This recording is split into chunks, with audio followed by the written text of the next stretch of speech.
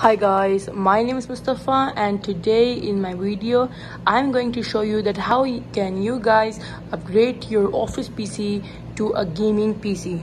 So as you can see I'm using a Dell Optiplex 3080 uh, and it is a i5 Intel Core i5 10th gen PC okay uh, there are two simple USB port and two USB 0 3.0 a headphone jack and a power button and a CD drive as you can see and Optiplex 3080 written over here.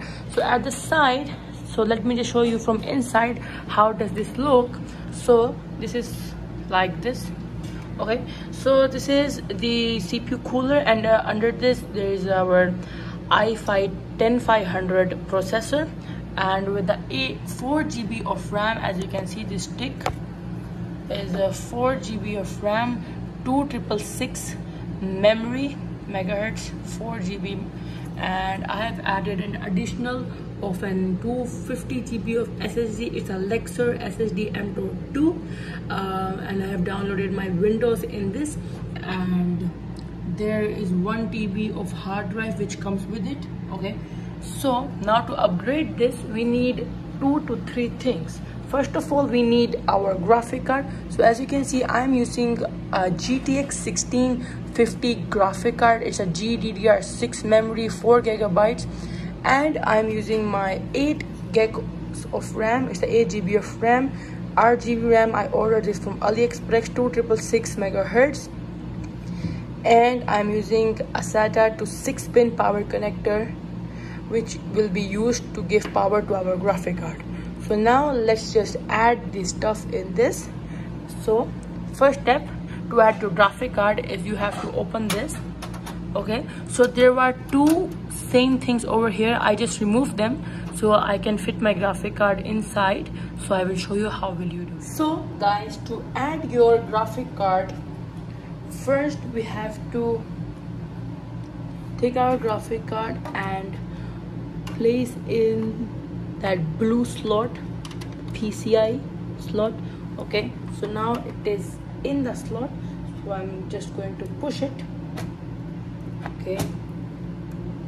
So now it is in and I will just close this.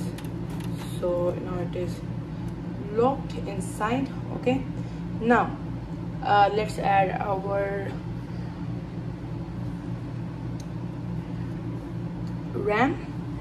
Okay so there are two slots in this. First one it is used by the 4 gb of ram. Now second one. So make sure you add it the right way because this sign will be facing upward like this. So first you have to open these. As you can see these are some little clips. Okay so first you have to open those. Then you have to place your memory inside and push it. You will hear a click as you can see. Okay? So now our memory is now locked in. Now our SATA to 6 pin connector as you can see here. So there are two SATA ports which are not used. So I'm going to attach this to the SATA port like this. Okay test in. And this will go here. As you can see this is a six pin power connector. It will go in here and you will hear a click. Here you go. Click. Okay? So now let's just turn it now on. guys let's turn it on. So one two three. It is on. So the fan is spinning. As you can see rgb here and my graphic card fans are also spinning. So it is a good indication that these all are working fine. So now guys in my next video i'm going to show you that how can you set up your graphic card with your pc like how can you download the drivers and stuff. So if you have enjoyed this video and is this video helpful to you please give this video a thumbs up. I will meet you in my next video. Take care. Bye bye